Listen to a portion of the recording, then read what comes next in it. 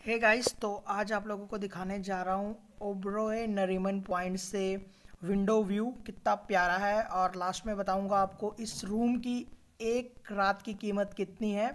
तो आप सबसे पहले देखिए कितना ब्यूटीफुल व्यू है यहाँ पे। ये लॉकडाउन से पहले का व्यू है और कितना सब एकदम कूल सा लग रहा है।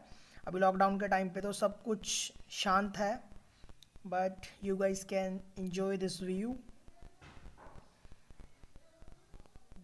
तो इस रूम की कीमत अराउंड साढ़े तीन लाख से पाँच लाख रुपए तक है। एक रात की ये डिपेंड करता है ऑक्यूपेंसी के ऊपर। अगर सीजनल टाइम है तो ये पाँच रुपए तक चले, पाँच रुपये कह रहा हूँ सॉरी पाँच लाख तक चले जाता है प्रेसिडेंशियल स्वीट रूम का प्राइस और अगर ऑक्यूपेंसी कम है तो ये तीन लाख में भी मिल जाता है, लेकिन उससे कम जाना बहुत ही मुश्किल होता है।